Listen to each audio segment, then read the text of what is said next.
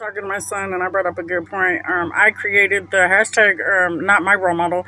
It came in a meme that had a group of people that were pedophiles in it, um, including the Clintons um, and several other famous people. Um, my point here is this: I took my stuff to court. These people took their stuff to the toilet, and boy, were they nasty about it.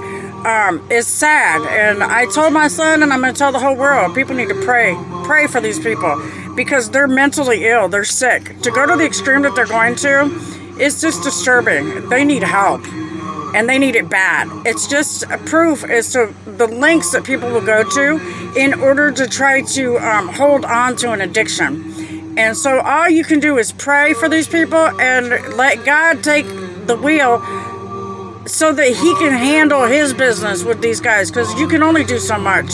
Like I said, they I took it to the courthouse. They took it to the toilet. God bless America. Have a blessed day. Back the bads.